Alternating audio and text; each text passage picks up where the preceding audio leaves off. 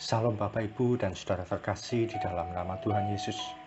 Di mana pun Anda berada Dan di mana pun Anda bisa mendengar rekaman ini Kita bertemu dalam program Jumpa dengan Tuhan Untuk edisi hari ini. Sebagai dasar kebenaran firman Tuhan Saya akan bacakan dari Matius 25 ayat 40 Firman Tuhan mengatakan Dan Raja itu akan menjawab mereka Aku berkata kepadamu, sesungguhnya segala sesuatu yang kamu lakukan untuk salah seorang dari saudaraku yang paling hina ini, kamu telah melakukannya untuk aku. Kalau mengingat hari Sabtu, saya teringat belasan tahun yang lalu. Saat itu saya bersama teman-teman memulai pelayanan mengunjungi orang-orang yang ada di jalanan kami mulai bergerak selepas pukul 22.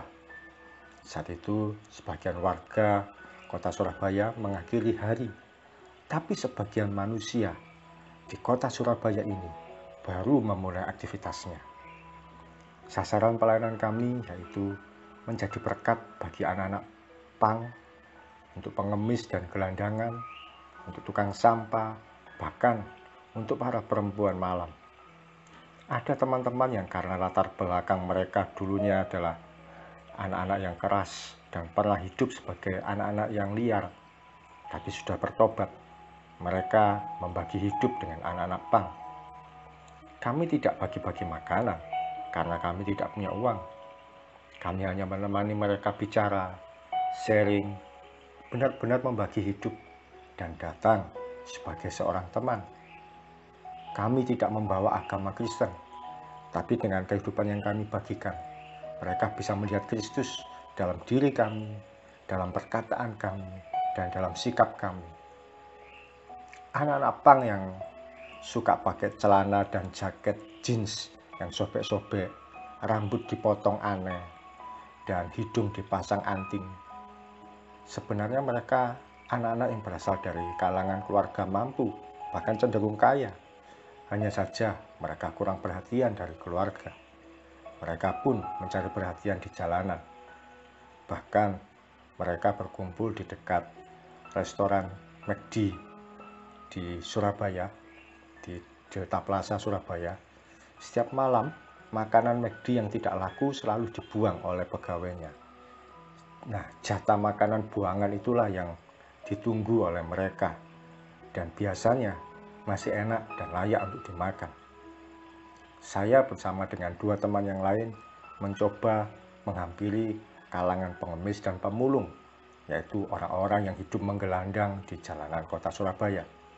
Kami ajak ngobrol, menghibur, dan menguatkan mereka yang sedang istirahat melepas lelah. Biasanya mereka itu butuh teman bicara yang mau mengerti dan memahami kondisi mereka. Yang mengejutkan, Salah seorang di antaranya merupakan saudara sepupu dari penyanyi terkenal tahun 70-an yang saat ini sudah menjadi hamba Tuhan. Ada di antara teman-teman yang mencoba tergerak hati untuk mengunjungi lokalisasi atau tempat pelacuran. Saat itu lokalisasi masih diizinkan di kota Surabaya. Setelah berdoa sekian waktu dan mempersiapkan diri, teman kami ini masuk ke masuk ke lokalisasi terkenal yang bernama Gandoli dan memesan seorang perempuan. Dia bayar sekian uang pada Germo. Dia tinggalkan KTP pada pengelola lokalisasi.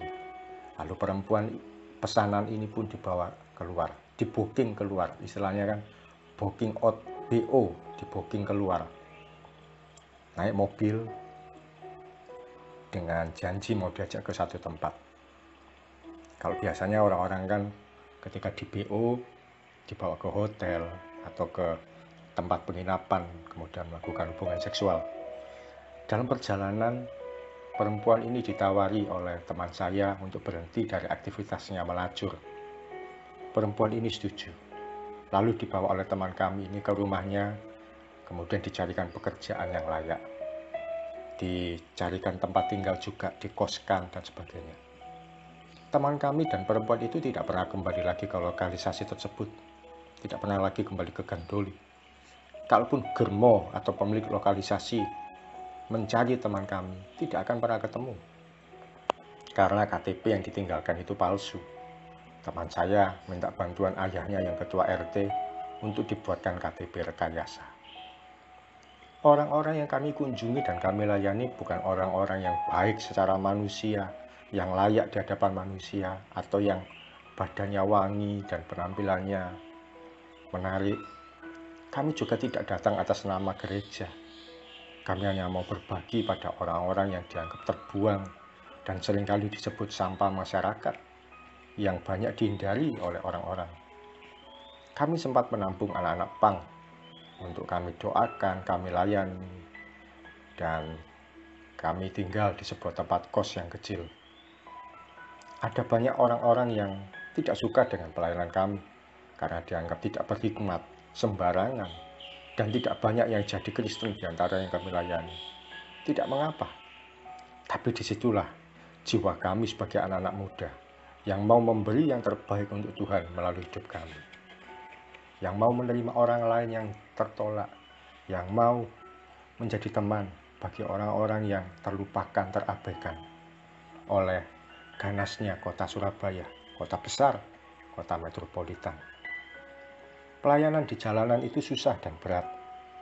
Lebih enak ketika melayani di gereja, pimpin pujian, khotbah, atau apa pun di ruangan yang menyenangkan dan selesai pulang dan sebagainya.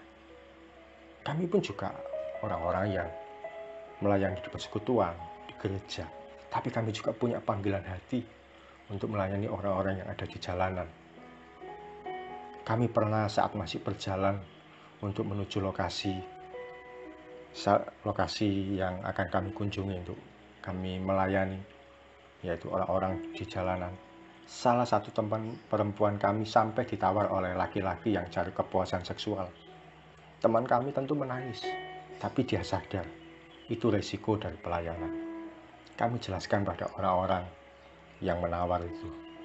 Maaf, kami tidak sedang menawarkan perempuan. Pada satu kali, pelayanan tersebut harus kami akhiri karena ada pihak tertentu yang mengajak kami untuk gabung dalam pelayanan baru atau gereja baru di Surabaya yang bernama Cinta Orang Miskin. Gerejanya cukup terkenal juga. Beberapa teman ikut bergabung karena merasa misinya hampir sama. Saya waktu itu tidak ikut bergabung karena saya melanjutkan pelayanan ke anak-anak sekolah, ke persekutuan-persekutuan doa pelajar. Dalam kesempatan hidup yang Tuhan percayakan pada kita, Mari kita belajar untuk tidak melihat pergumulan diri sendiri, tidak melihat kesusahan sendiri, dan tidak merasa diri paling menderita. Tapi sediakan diri juga untuk berbagi, minimal mendoakan orang-orang yang kita tahu mereka dalam kondisi sulit hidupnya. Tanpa sadar, kita sedang melakukannya untuk Tuhan. Ketika kita memberi makan orang yang kekurangan, tanpa sadar, kita sedang memberi makan untuk Tuhan. Ketika kita memberi pakaian, tanpa sadar, kita sedang memberi Tuhan pakaian. Ketika kita menghibur orang lain yang dalam kesusahan, tanpa sadar, kita juga sedang menghibur Tuhan. Maka percayalah, Tuhan pasti perhitungkan berkatnya bagi kita. Mari kita datang pada Tuhan. Tuhan Yesus terima kasih untuk firman-Mu, untuk sharing yang boleh kami dengar pada pagi hari ini. Ajar kami ya Tuhan untuk tidak melihat kondisi kami sendiri saja, tapi kami mau belajar menjadi pribadi yang mau membagi hati, mau membagi hidup, mau membagi doa, mau membagi perhatian, supaya orang lain juga dikuatkan, supaya orang lain juga dihibur, supaya orang lain juga mengalami kehidupan yang baik, sehingga dalam kondisi susah, susah yang kami hadapi, kondisi sulit yang kami alami, kami tidak menanggung sendiri, tapi kami belum jadi berkat bagi orang lain. Ampuni kalau kami sering kali hanya melihat diri kami sendiri dan kami mengeluh Tuhan berkati kami, Tuhan tolong kami. Tapi ajar kami Tuhan kami juga membuka mata kami terhadap orang-orang yang ada dalam kondisi kekurangan. Dan kami mau jadi berkat bagi mereka dalam apa pun yang kami mampu. Terima kasih Tuhan Yesus. Kami siap melangkah sepanjang hari ini. Kemurahanmu, kebaikanmu, keajaibanmu dinyatakan atas setiap anak-anakmu mulai pagi sampai malam, bahkan sepanjang umur hidup kami. dalam nama Tuhan Yesus kami berdoa dan mengucap syukur. Amin. Selamat menjadi pribadi yang membagi hidup bagi orang lain yang dalam kondisi kekurangan, dalam kondisi ada di bawah kita. Siapa pun mereka. Salam dari Saudi Karjo dan Mitzvah Ministry. Tetap setia sampai kali akhir. Tuhan Yesus memberkati.